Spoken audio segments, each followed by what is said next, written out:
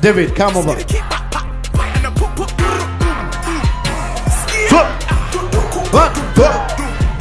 I have some great news for David, the student here. Remember, many years ago when he came as a student, that's why he called himself David, the student. But right now, I know after Monday, he might change his name to David, the entertainer. Now, David has been fortunate enough uh, from Monday, uh, he'll be representing the country. Be traveling to Los Angeles uh, to present Kenya in America's Got Talent.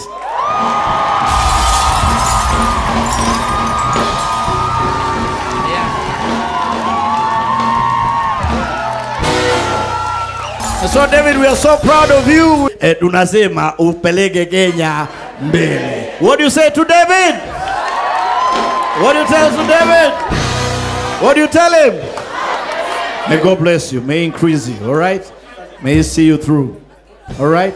And believe it and pray about it. Shall be well. All right. God bless you. All right. Let's say a big bye bye to David.